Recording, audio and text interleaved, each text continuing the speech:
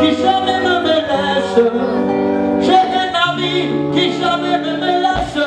Jésus est mon ami qui jamais ne me laisse.